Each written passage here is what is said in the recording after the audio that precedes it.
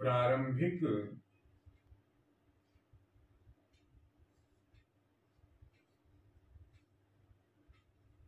गणित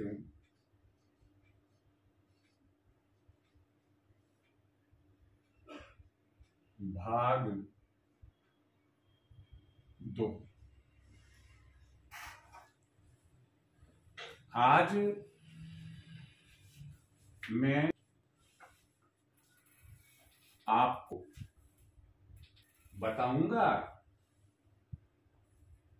कि भारतीय संख्या पद्धति क्या होती है।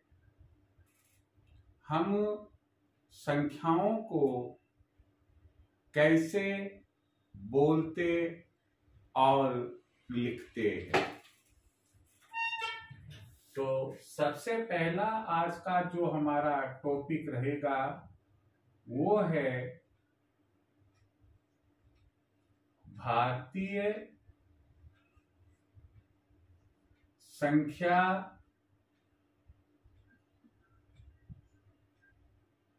पद्धति। बच्चों, मैं आपको जानकारी दूँ कि आपको तीन प्रकार की संख्या पद्धतियाँ पढ़ने को मिलेगी। एक, भारतीय संख्या पद्धति इंडियन नंबर सिस्टम। दो, इंटरनेशनल नंबर सिस्टम। और तीन, रोमन नंबर सिस्टम। हम यहाँ पर आपको केवल भारतीय संख्या पद्धति इसलिए बता रहे हैं कि हमारे देश की जो परंपरा है और हमारे में जो गणितज्ञ हुए हैं, जिनका ब्रेन यानी कि मस्तिष्क शार्प रहा है, वो उसके पीछे कोई ना कोई लॉजिक काम करता है। पहले हम अपने देश में जो सिस्टम अडॉप्ट किया जाता है, अपनाया जाता है, हम पहले उसे सीखे। और जब वो सीख लेंगे तो फिर उसके बाद में हम चाहे जो नंबर सिस्टम हो, उसे सीख नंबर सिस्टम हमें संख्या के अंक के मान के बारे में बताता है।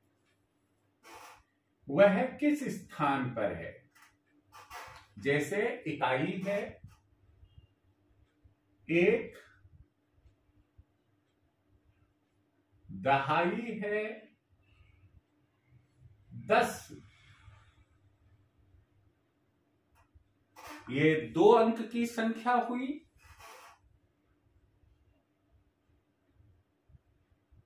सैकड़ा है,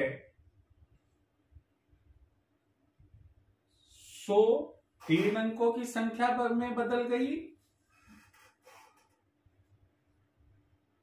हज़ार। चार अंकों की संख्या बन गई और इसी प्रकार दस हज़ार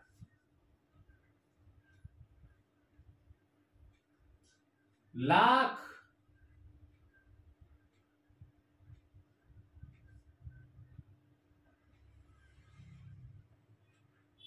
दस लाख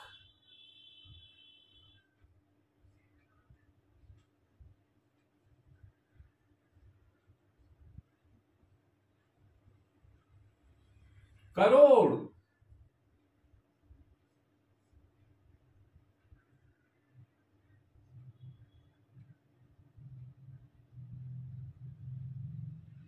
दस करोड़।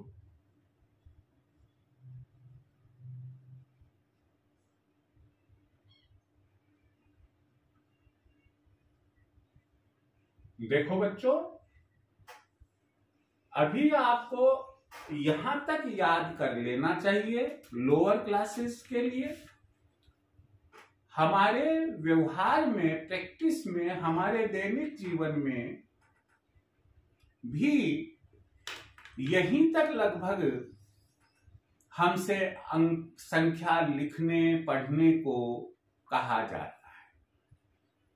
मतलब इसका यह नहीं है कि दस करोड़ के बाद में संख्या नहीं होती है।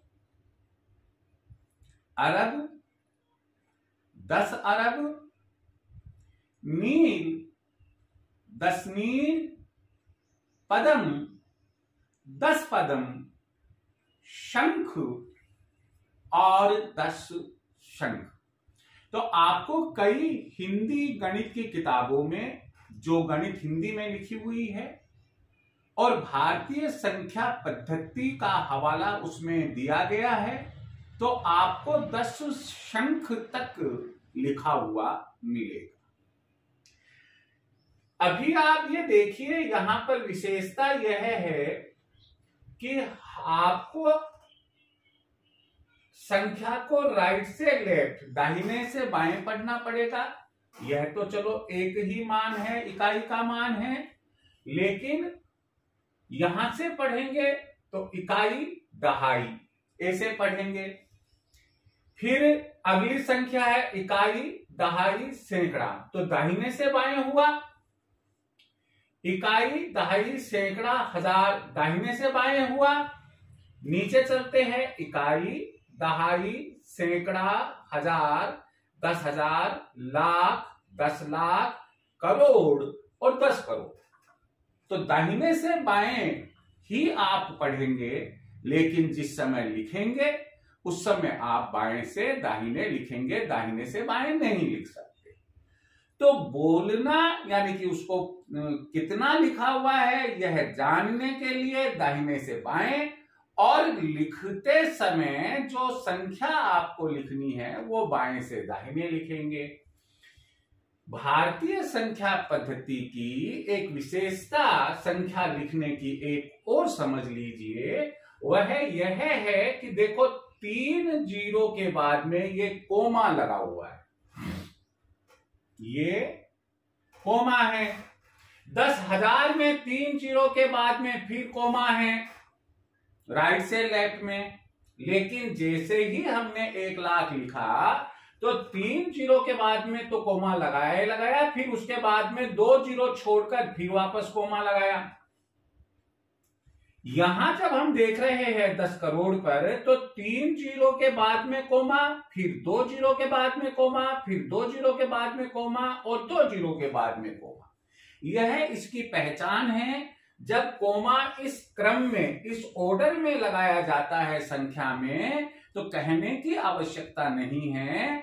आप कह सकते हैं कि वह भारतीय संख्या पद्धति के अनुसार लिखी हुई संख्या है, जिसे इकाई, दहाई, सैकड़ा, हज़ार, दस हज़ार, लाख, दस लाख, करोड़, दस करोड़ इस तरह से पढ़ना पड़ेगा। इंटरनेशनल नंबर सिस्टम में तीन तीन अंकों के बाद में कोमा लगता है और वहाँ पर आपको million ten million, hundred millions, billions, इस तरीके से आपको पढ़ना पड़ता है। हम यहाँ इंटरनेशनल नंबर सिस्टम के बारे में आपको जानकारी कदापि नहीं दे रहे हैं। अब आगे बढ़ते हैं। जब शुरू शुरू में आप पढ़ते हो तो आपको संख्याओं को, जो अंकों में दी गई है, उसे शब्दों में और शब्दों में दी गई संख्या को अंकों में लिखवाया जाता है। हर चीज़ के पीछे कोई ना कोई कारण होता है। जब भी कोई सरकारी डॉक्यूमेंट, कागजात तैयार होते हैं, जब भी आप बैंक चेक बुक में रकम, अमाउंट लिखते हैं तो ऐसी स्थिति में अंक के साथ साथ आपको शब्दों में भी वह संख्या लिखनी पड़ती है। यही नहीं, बल्कि जब आप परीक्षा में परीक्षा देने जाते हैं, कॉपी पर अपना रोल नंबर लिखते हैं तो सेकेंडरी, हायर सेकेंडरी और ऊपर की कक्षाओं के अंदर आपको अंकों के साथ साथ शब्दों में भी अपना रोल नंबर लिखना होता है। तो अभी हम ले रहे हैं कि निम्नलिखित निम्न ये क्वेश्चन है अपना निम्नलिखित संख्याओं को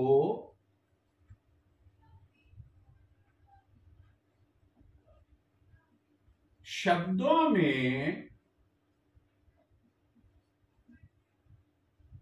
लिखिए।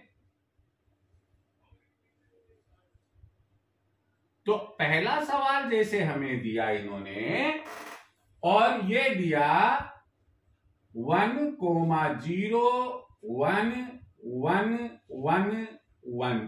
अब जैसे ये हमें दिया हुआ है, और हमसे कहा कि इसे आप वो शब्दों में लिखिएगा।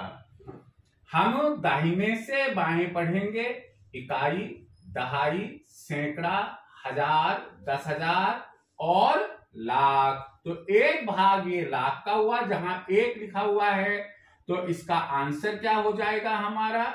इसका आंसर हो जाएगा एक लाख। अब दूसरा भाग इसका ये है, इकाई, दहाई, सैकड़ा, हज़ार, दस हज़ार। तो दस हज़ार में तो ज़ीरो लिखा हुआ है। तो ये तो इकाई दहाई सैकड़ा हज़ार में एक लिखा हुआ है। एक हज़ार।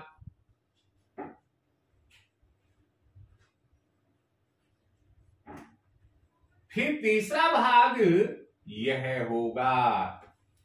इकाई दहाई सैकड़ा तो 111 है।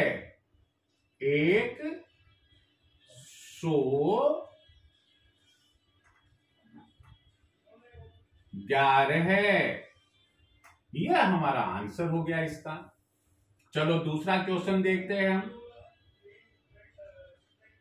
Three, two two, five, six, zero, five. मान लो ये है। तो यहाँ के कोमा के हिसाब से आप इस तरीके से भी शुरू शुरू के अंदर इसके पार्टीशन भाग कर सकते हैं।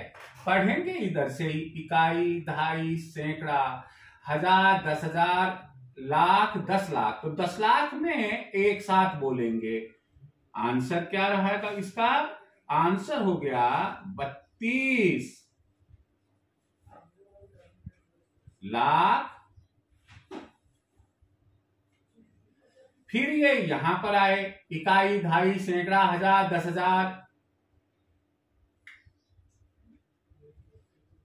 पच्चीस। ये यहाँ पर या तो पच्चीस ऐसे लिखेंगे या डबल से आएगा पच्चीस। पच्चीस हज़ार। फिर ये छसो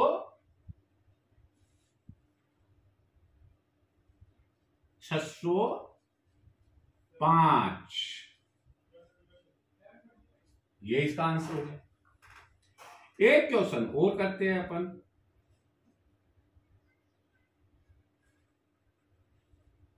दस, इक्कीस, इकतीस, दो सौ इक्का। तो ये बना हमना इकाई, दहाई, सैकड़ा, हज़ार, दस हज़ार, लाख, दस लाख, करोड़, दस करोड़। तो इसका आंसर हम क्या लिखेंगे? आंसर लिखेंगे, दस का दस करोड़ हो गया। दस करोड़। इक्कीस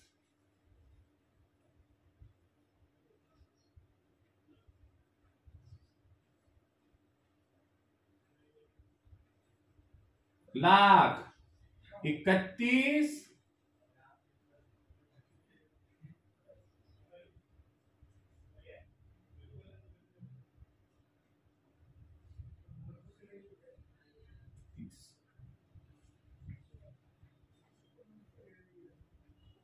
इकतीस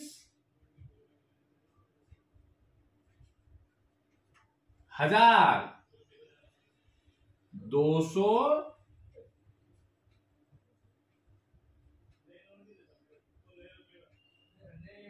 इक्यावन।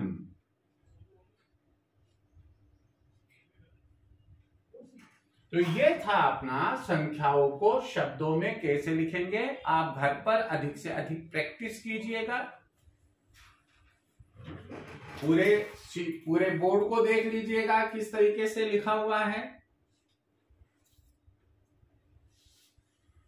स्क्रीन शॉट ले सकते हैं आप।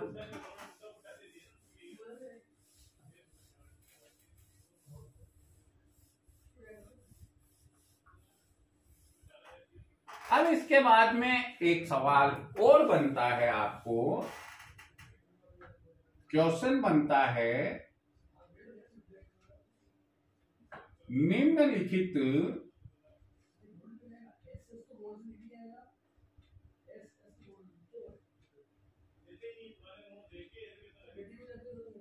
संख्याओं को अंकों में लिखिए।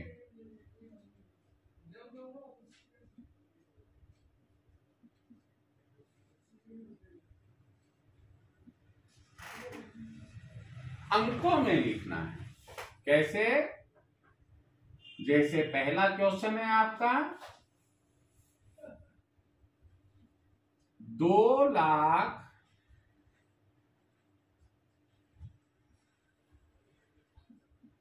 दो हज़ार। तो इसका आंसर होगा इकाई, दहाई, सैकड़ा। हज़ार, दस हज़ार और ये लाख। ये एक तरीका रहेगा आपका। शुरू शुरू में फिर आपको आदत पड़ जाएगी। इकाई, ढाई, सैकड़ा, हज़ार, दस हज़ार, लाख, दो लाख, दो हज़ार। इकाई, ढाई, सैकड़ा, हज़ार, दो हज़ार। अब तो बाकी कुछ भी नहीं है। तो बाकी जगह पर आप ज़ीरो लगा दे। दूसरा क्वेश्चन है,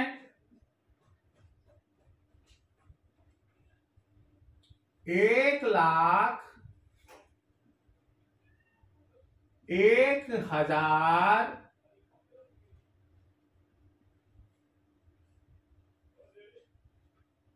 एक सौ एक। इसे लिखना है अंकों में। अंकों में लिखने के लिए एक लाख तक है ये। तो हम यहाँ से शुरू करेंगे। इकाई, ढाई, सैकड़ा। हज़ार, दस हज़ार। और ये लाख। लाख में कितना है? एक लाख।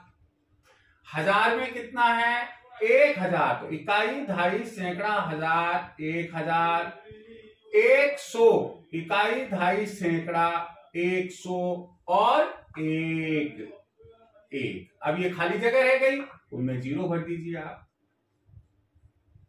तो एक लाख, एक हज़ार एक सौ एक। एक सवाल और देखिएगा आप।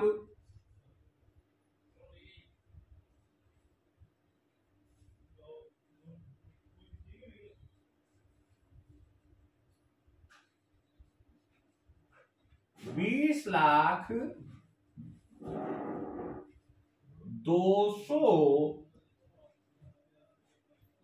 दो, बीस लाख दो सौ दो। तो इकाई, इसका आंसर होगा दहाई सैकड़ा। कोमा लगाया हज़ार, दस हज़ार, फिर कोमा लगाया लाख और ये दस लाख। बीस लाख, ये बीस लाख हो गए दो सौ इकाई ढाई सैकड़ा दो सौ हो गए। दो, ये दो भी हो गए। बाकी जगह शून्य भर दीजिए। ये ज़ीरो ये ज़ीरो ये ज़ीरो। इस तरह से आज हमने आपको बताया भारतीय संख्या पद्धति दस करोड़ तक किस तरह से पढ़ी और लिखी जाती है। संख्याओं को शब्दों में कैसे लिखते हैं?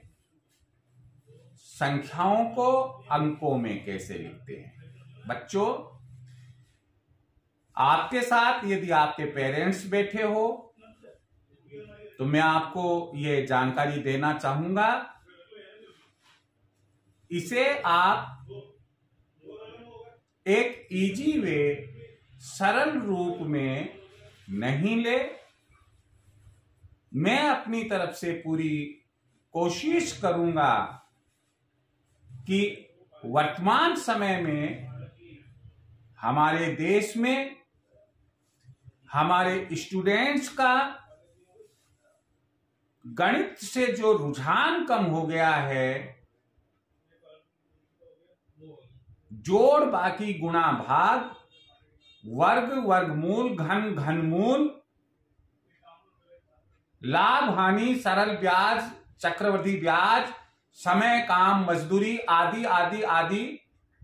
अंक गणित के, एल्जेब्रा के, ज्योमेट्री के और टिग्नोमेट्री के।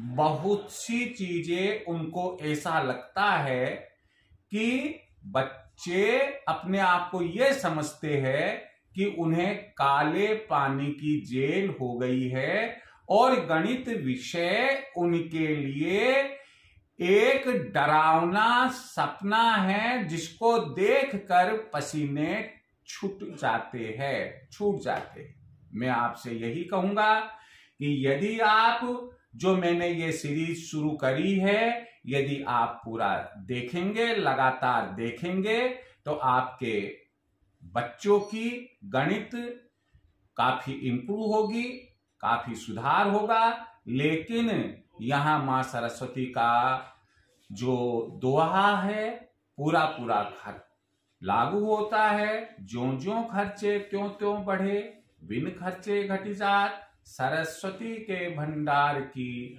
बड़ी अपूर्व बात। कहने का मतलब है मैंने तो दो दो, तीन तीन एग्जाम्पल्स दिए, लेकिन आप घर पर रफ कागज़, rough copy slate pen pencil कुछ भी लीजिए, और आपका नियम होना चाहिए, कम से कम मुझे एक घंटा रोज गणित का अभ्यास करना है। ईश्वर आपकी मदद करे। Best of luck